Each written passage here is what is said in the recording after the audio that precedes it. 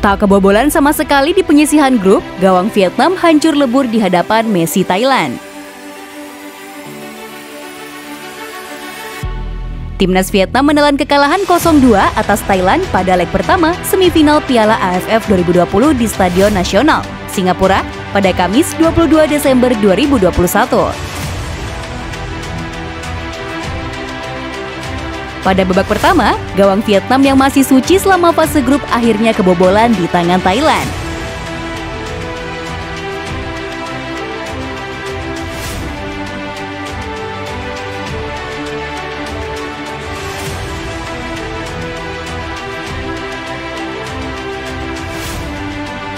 Tak hanya satu, Thailand berhasil menjebol gawang Vietnam sebanyak dua kali.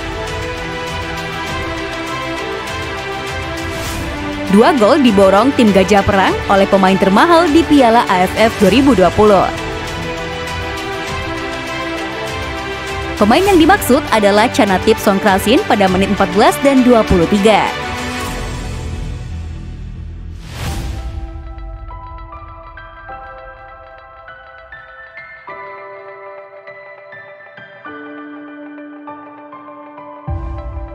Gol pertama Messi J, julukan Canatip, dicetak setelah memanfaatkan kesalahan Nguyen Pong Hong dalam mengantisipasi umpan terobosan.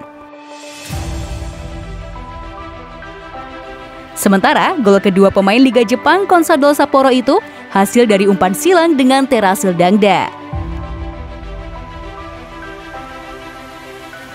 Memasuki babak kedua, Vietnam yang tertinggal dua angka terus berupaya mencetak gol balasan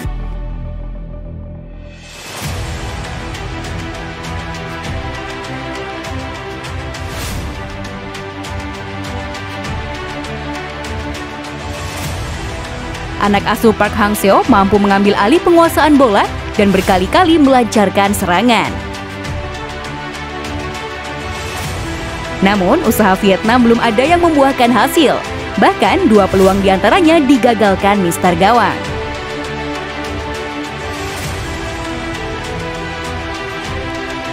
Peluang emas kembali didapat Vietnam pada menit 79. Kali ini dari Pan Van Duk.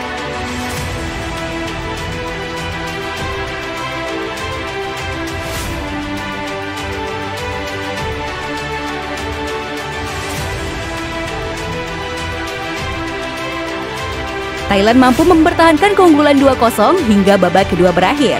Hasil ini membuat Vietnam akhirnya kebobolan.